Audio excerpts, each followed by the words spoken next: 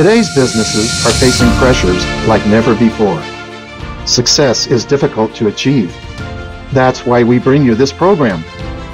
5G TV, Power Player of the Moment, analyzing methods and personalities that venture out with new and disruptive ideas and applications.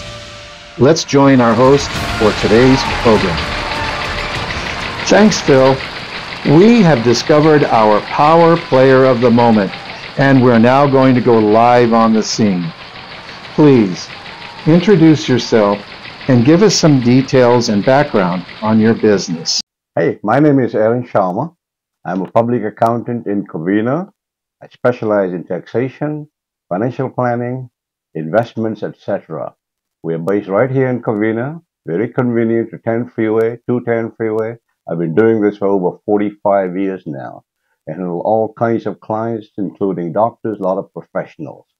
So if ever you need any help with the tax, accounting, financial planning, contact me at the below address. Thank you. That was a great introduction. We certainly wish you success in all your endeavors, and our audience looks forward for future updates on your progress.